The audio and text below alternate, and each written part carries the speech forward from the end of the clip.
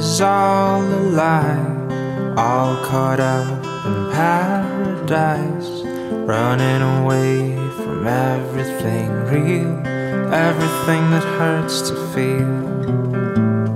All you know is all that you've put up to keep you from the truth. A wall to keep out all the hurt, only to keep out all that's worth.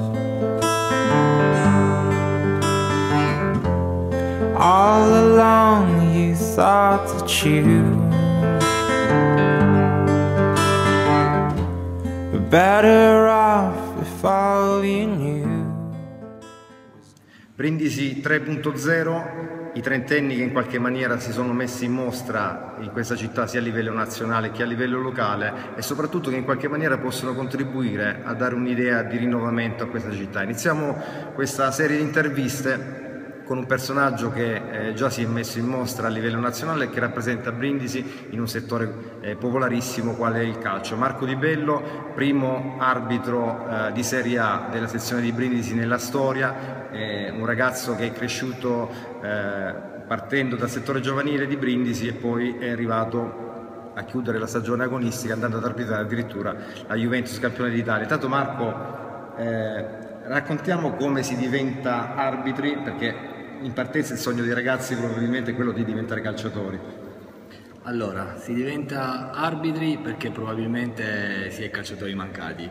Quindi io ho giocato a calcio fino all'età di 15 anni, poi ho visto che comunque non riuscivo a fare carriera perché non ero ai livelli dei... Che ruolo giocavi? Terzino sinistro, mi piaceva tanto correre. E smesso di giocare a calcio, a 18 anni ho deciso di fare il corso d'arbitro perché c'era un, un amico della comitiva che all'epoca lo, già lo faceva e ho cominciato la gavetta arbitrando dai giovanissimi a salire, allievi, juniores, tutte le categorie provinciali.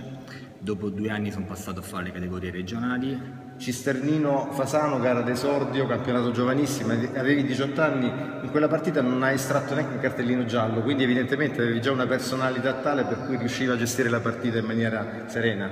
O è stata una coincidenza? Probabilmente non li ho estratti perché a stento riuscivo a fischiare qualche fallo quindi ricordo di quella partita è aver dimenticato la monetina del sorteggio nello spogliatoio e avere un cronometro che non era orologio ma era appeso al collo. Quindi arrivai a centrocampo e praticamente non avevo nulla di quello che poi è la dotazione base dell'arbitro. E decisi di far fare il pario dispari ai due capitani per scegliere il campo e il, il calcio d'inizio. Sì, sì, sì. E invece il 12 aprile 2012 un altro esordio, ecco, esordio in Serie A, Bologna-Cagliari, che tipo di emozione diversa si avverte? Perché immagino che a 18 anni arbitrare la prima partita sia comunque una grandissima no? agitazione, emozione, ci sia una, immagino una notte precedente molto intensa. Ecco, tipo, come cambiano le emozioni andando poi ad arbitrare la prima partita di Serie A? Ma sicuramente cambiano e cambiano anche tanto, perché comunque il palcoscenico della Serie A, soprattutto in Italia, eh, mette davvero tanta pressione, soprattutto su un arbitro giovane, avevo 31 anni. Eh, l'emozione è bella perché in tribuna c'era tutta la mia famiglia con uh, mia moglie, che sarebbe diventata insomma mia moglie di lì a qualche mese. Eh, tanta emozione, manca tanta voglia di far bene. La cosa più bella di quella serata è che dall'ingresso in campo fino al centrocampo per schierarci poi per il saluto alla, al pubblico, alla, insomma, a tutti gli spettatori, ho vissuto in quei 30 secondi tutta la mia carriera, quindi 13 anni di carriera all'epoca, eh, rivissuti in 30 secondi, con tutti i film delle varie tappe eh, di quella che poi è la carriera di un arbitro che parte per divertirsi e poi magari ha la fortuna e anche un po' la, la bravura e la tenacia di far diventare un divertimento il suo lavoro. In un'intervista ho visto che hai detto nella vita è importante comunque avere fortuna. Ecco, la fortuna quanto ha inciso nella tua carriera? Ma io penso che la fortuna eh, incida in tutti, in tutti, i rami della vita, quindi fa la sua parte, sicuramente una parte relativa, eh, non è l'ingrediente principale per riuscire in qualsiasi campo. Eh, sono sempre stato convinto di questa cosa qui, però è normale che aiuta, eh, a volte ci sono delle, delle, partite, degli appuntamenti importanti che non si possono sbagliare per niente al mondo, perché sono magari segnano delle tappe importanti nella carriera di un arbitro e in quella domenica ci vuole anche un po' di fortuna a prendere in alcune circostanze, magari grigie come le definiamo noi in campo, la decisione corretta.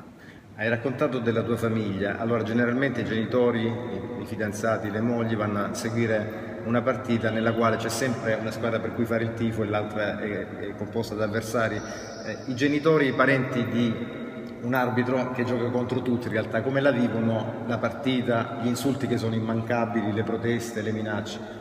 Ma gli insulti penso che ormai dopo, dopo tanti anni siano, siano, bravi anche loro a farli scivolare addosso, eh, sia la mamma, sia la sorella, sia la moglie, che magari sono quelle più bersagliate.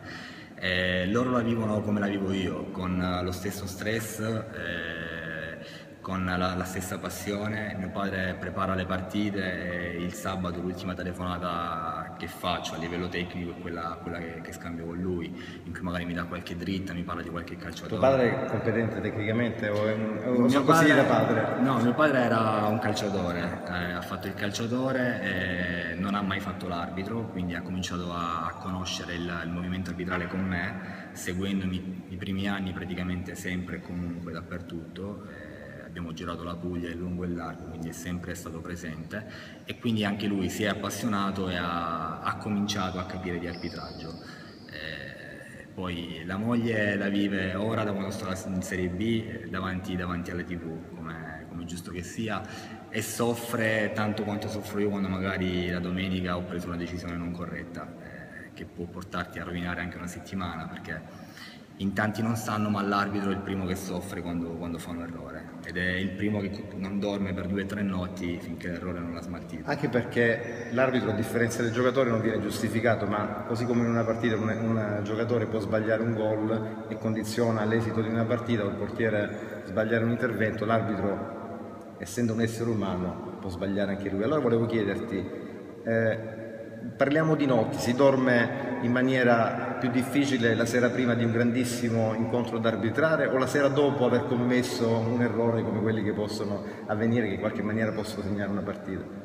Allora, purtroppo si dorme male e poco sia la sera prima perché c'è tanto stress, c'è tanta tensione nervosa, quindi non si riesce assolutamente a riposare nel miglior modo possibile.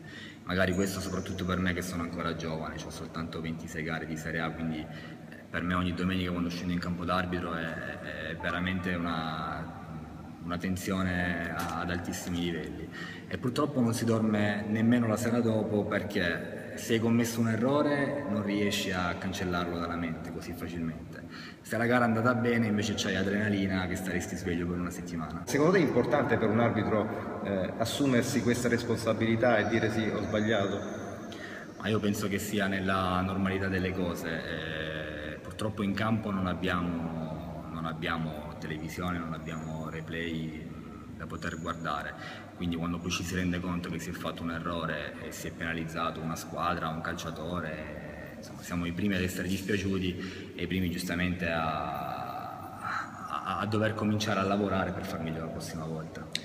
Tu sei in Serie A, il calcio a Brindisi invece è praticamente morto. Eh, come mai secondo te c'è stato questo declino inesorabile che non consente questa città, che pure ha una grandissima tradizione calcistica, no? di, di riemergere? Secondo te è soltanto una questione di sfortuna oppure è una situazione che in qualche maniera è macchiata e marchiata negativamente? Ma mi spiace tanto perché negli ultimi anni il, i miei successi, le mie promozioni nelle varie categorie erano per una serie di coincidenze eh, corrispondevano inversamente proporzionali al, no, alle, alle, promozioni del ah. Brindisi, dall'eccellenza alla D eh, e poi dalla D alla C, quando gli ultimi anni che sono stati fatti di C. Vedere ora la, la squadra della mia città che ha chiuso l'ultimo campionato in Serie D eh, comunque non naviga sicuramente in acque, in acque buone, un po' spiace. È normale che guardando magari tutto il movimento a livello Puglia il problema non è soltanto di Brindisi, ma magari un po' più allargato.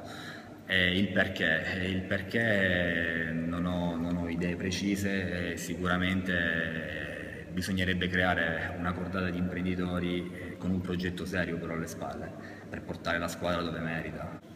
Eh, siamo nella sala della colonna, questa rubrica è anche eh, finalizzata a cercare di capire i trentenni di successo come il tuo caso, in che maniera ritengono questa città possa essere risollevata. C'è un tentativo di crescita, c'è un miglioramento anche no, eh, della qualità della città, delle strade, però manca ancora l'iniziativa. Ecco, mm, tu che la vivi anche dall'esterno, che percezione hai di Brindisi vista anche da fuori?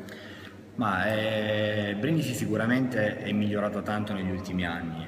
Per me Brindisi è tutto, io qui ci sono nato, eh, ci vivo perché a parte i raduni che magari vado a fare in giro per l'Italia comunque sto, sto qui eh, e Brindisi potrebbe sicuramente fare di più e potrebbe fare tanto. Eh, abbiamo tanti monumenti, tante, tante piazze che potremmo sfruttare eh, meglio di come facciamo. Eh, abbiamo cominciato ad avere da quest'anno nuovamente un flusso di turisti con, con le navi da crociera, ma purtroppo stiamo, stiamo ancora abbastanza fermi.